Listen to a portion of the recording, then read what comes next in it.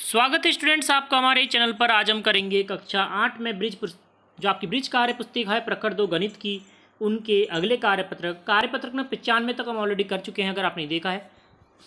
तो नीचे description link मिल जाएगी, वहाँ पर आप जाकर आप देख सकते हैं। और आपकी इंग्लिश और हिंदी की ऑलरेडी कंप्लीट हो चुकी है, उसकी लिंक भी आपको डिस्क्रिप्शन में मिल जाएगी। तो स्टूडेंट ये भी कंप्लीट होने वाली है। एक आध वीडियो और बनेगा बस इसमें। देखिए, प्रश्न नंबर एक है, नीचे दी गई तालिका में संख्याएँ लिखनी है स्टूडेंट्स क देखिए क्या बनेगी संख्या? सैकड़े में चार, तीन, दहाई, एक, इकाई, पाँच दशांश क्या हो जाएगा? चार सौ इकतीस पॉइंट पाँच। अगला, चार सैकड़ा, सात, दहाई, ज़ीरो, इकाई दशांश में दो छः सौ सत्तर पॉइंट दो। नौ सैकड़ा, चार, दहाई, दो, इकाई, पाँच दशांश नौ सौ बयालीस पॉइंट पाँच।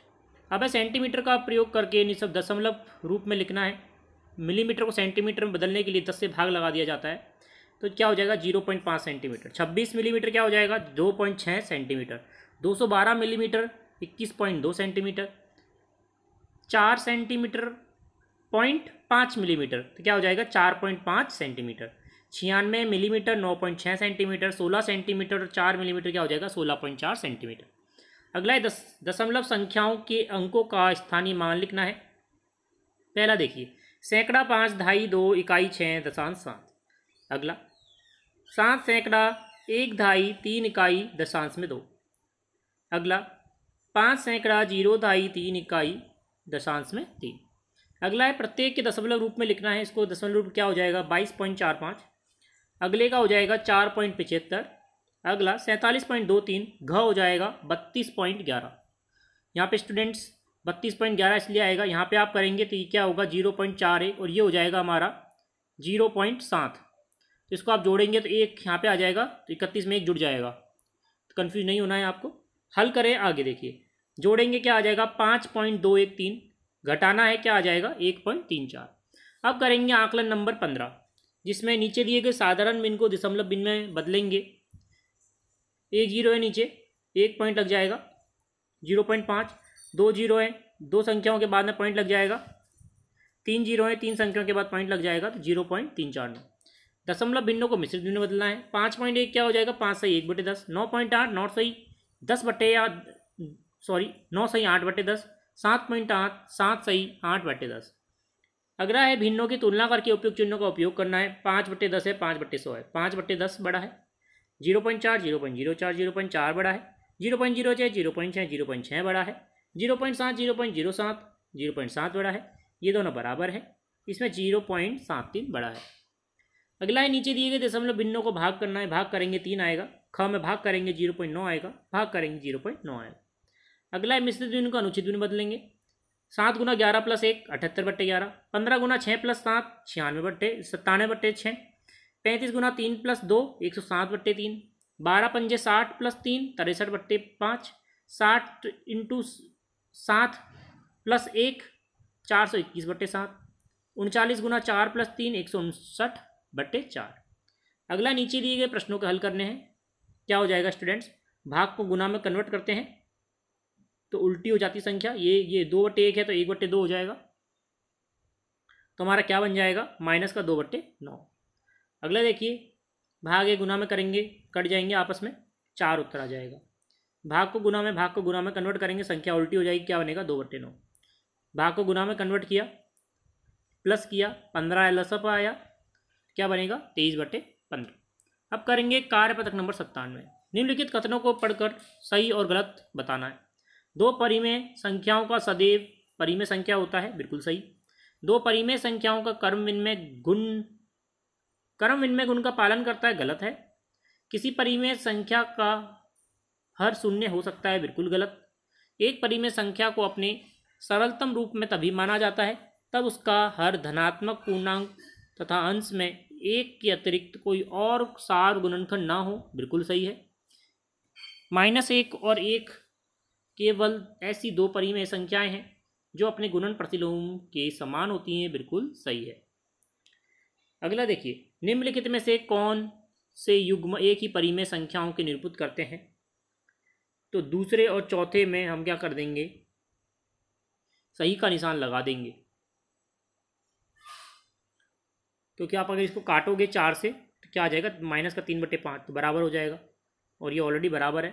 माइनस ऊपर नीचे कर सकते हैं अगला देखिए, हल करना है। तीन बटे पाँच प्लस सात बटे पाँच पाँच लसअप आ जाएगा तीन प्लस सात, दस बटे पाँच कटेगा, पाँच से दो आ जाएगा। सत्रह बटे छत्तीस है, जोड़ना है सात बटे चौबीस में बेहतर आ जाएगा लसअप क्या आ जाएगा हमारा उत्तर? पचपन बट्टे बहत्तर। स्टूडेंट इस प्रकार से हल करना स्टेप बाय स्टेप आपको। अगला देखिए। घटाना है, क्या उत्तर आएगा? उन्नीस बट्टे छप्पन। गुना करना है, माइनस का ती, सॉरी, माइनस नहीं है ये ये बराबर है। तीन बट्टे चार उत्तर आ जाएगा। ये ग्यारह से कट जाएगा बाईस, दो बार। अगला देखिए, माइनस से माइनस कट जाएगा, ये गुना है, क्या आ जाएगा? उनचास बट्टे पच्चीस। भाग करेंगे, भाग है गुना करेंगे, तेरह बट्टे, तीन हो जाएगा, उल्टी हो जाएगी संख्या। तेरह से पैंसठ कटेगा, पाँच बार, माइनस का चार बटे पंद्रह उत्तर आ जाएगा। अगला है निम्नलिखित परिमेय संख्याओं को, संख्या रेखा पर निरूपित करना है। तो पहले हम जिसके हर में चार चार है, उसको करेंगे। ज़ीरो बनाया, इधर एक, दो, तीन, चार पार्टीशन, इधर भी चार पार्टीशन, माइनस एक, माइनस दो। यहाँ पे माइनस यहाँ पे एक और यहाँ पे दो। यहाँ पे चार चार पार्टीशन बनाएँगे, चार चार हैं। तो यहाँ पे तीसरी रेखा पर तीन बटे चार आ जाएगा, और इधर एक, दो, तीन, चार। पाँच छः सात। सातवीं रेखा पर क्या आ जाएगा हमारा? माइनस सात बट्टे चार। अब देखिए, आठ है इन दोनों में। कौन किन में? तीसरे और चौथे में। इसको कैसे करेंगे? ज़ीरो लगाया। यहाँ पे एक लिखा, यहाँ पे दो, यहाँ पे माइनस एक लिखा। और बीच में आठ पार्टीशन बनाएँगे, आठ। खाने मतलब सात खाने बनाने हैं हमें। सात रेखाएँ खींचेंगे तो आठ खाने तैयार हो जाएँगे। तो इधर माइनस में पाँचवा हो जाएगा। माइनस का पाँच बट्टे आठ और प्लस में सातवां हो जाएगा सात बट्टे आठ। अब करेंगे कार्यपत्र नंबर अट्ठानवे, जिसमें खंड ए को खंड बी के साथ मिलाना है। देखिए, पहला, किसी संख्या के दुगुने और दस का योग बीस होगा, इससे मिलाएँगे। एक संख्या हूँ, मेरा तीन गुना छः प्राप्त होता है, तीन एक्स बराबर छः हो गया। राजू के पास कुछ रुपए हैं, उसमें से पाँच खर्च कर दिए, शेष बचे दस तो एक्स माइनस पाँच बट्टे बराबर बराबर हो जाएगा दस। पी के चार गुने में से छः घटाने पर तीस प्राप्त होता है, इससे मिला देंगे। एम का एक चौथाई तीन से अधिक है। एम बटे चार माइनस सात बराबर तीन। किसी संख्या के एक तिहाई में पाँच जोड़ने पर आठ प्राप्त होगा, इससे मिला देंगे। टी का तीन चौथाई पंद्रह है, इससे मिला देंगे।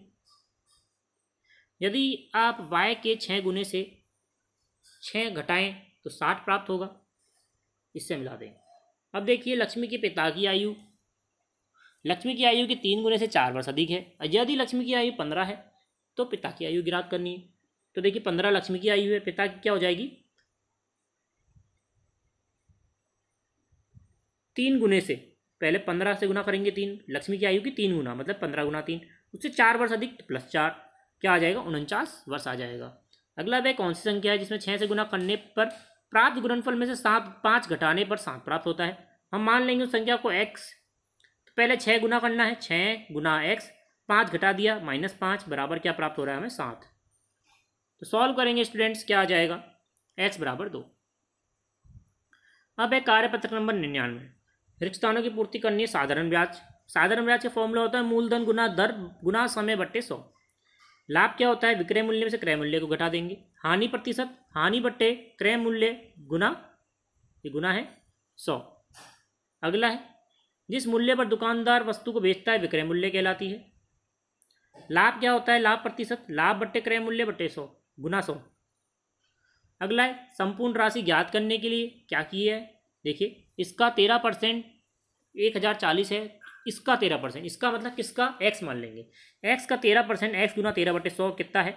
एक हज़ार चालीस तो एक्स क्या आ जाएगा हमारा? आठ हज़ार।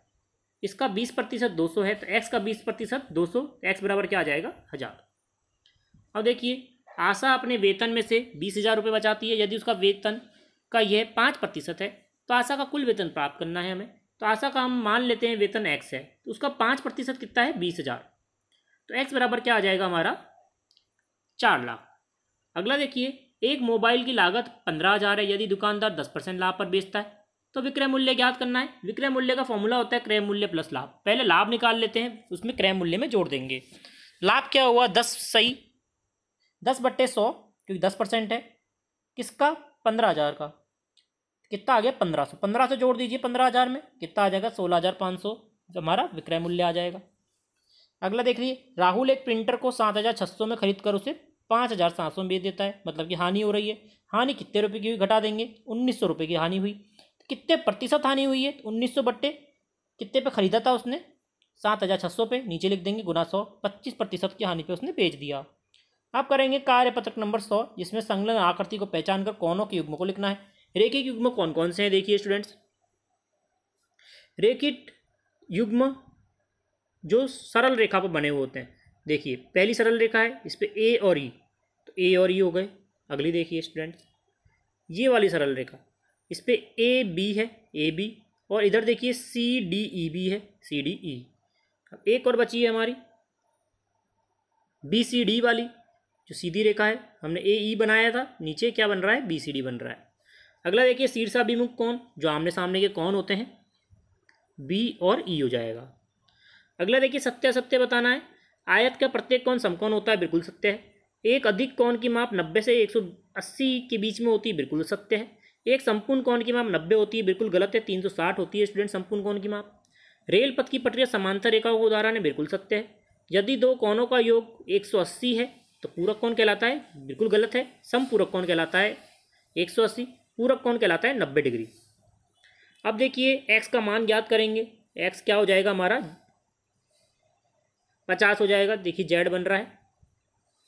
ये देखिए, एक सौ दस हो जाएगा। आमने सामने के कौन क्या होते हैं? एक सौ अस्सी के बराबर होते हैं। एक सौ अस्सी में सत्तर घटाया, एक सौ दस। ये देखिए, एक सौ पैंतीस है तो ये भी एक सौ पैंतीस हुआ। संगत कौन हो जाएँगे? अगला देखिए, प्रत्येक कौनों के युग्मों का नाम देना है। एक और दो, एकांतर अंत्य कौन? जो जेड बनता है इंटरनल एंगल्स होते हैं, ये एकांतर अंत्य कौन होते हैं? ये देखिए, ऊपर नीचे वाले संगत कौन होते हैं? ये हमारे रेखिक युग में है, ये हमारा संगत युग में है। अब देखिए, संलग्न आकृति में एल और एम क्या है हमारी? समांतर रेखाएँ हैं, इस निशान का मतलब होता है समांतर रेखाएँ, जो कभी मिलती नहीं है आपस में। तो अज्ञात कौनों का मान ज्ञात करना है। तो देखिए, एक ये क्या है हमारी? सरल रेखा है 130 है 180 में से घटाएँगे एक्स प्राप्त हो जाएगा। एक्स और वाई समान कैसे होंगे? शीर्षाभिमुख कौन है? तो ये बराबर हो जाएँगे। कितना आ जाएगा? पचास। फिर देखिए स्टूडेंट्स ये 130 है तो ये भी 130 होगा। संगत कौन? ये और ये दोनों बराबर हो जाएँगे। शीर्षाभिमुख कौन के कारण? एक्स और आर बराबर हो जाएगा। एक्स और आर बराबर कितना हो जाएगा हमारा? संगत कौन है? या फिर आप इसमें से भी घटा सकते हैं। पचास आ जाएगा। और ये आर और पी बराबर हो जाएँगे। शीर्षाभिमुख कौन के कारण पचास हो जाएगा। तो इस प्रकार से निकालना था आपको। तो इस प्रकार था हमारा संपूर्ण वीडियो, जिसके अंदर हमने पाँच वर्कशीट और एक आकलन पत्रक आकलन पत्रक पंद्रह सॉल्व किया है एक ही वीडियो के अंदर। फिर भी कोई दिक्कत आती है, आप कमेंट के माध्यम से पूछ सकते हैं। इसी प्रकार जुड़े रहिए चैनल से लाइक करें शेयर करें सब्सक्राइब करें। धन्यवाद।